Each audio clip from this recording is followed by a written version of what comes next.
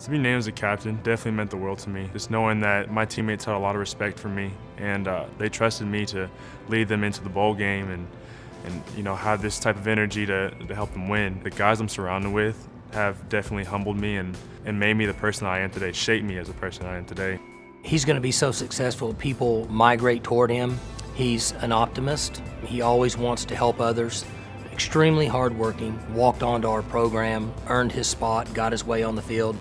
But just his willingness to give back in society and have a warm heart has just been awesome for our team. I think if you have somebody that believes in you and everything like that, I think you can take that and just go beyond your limits.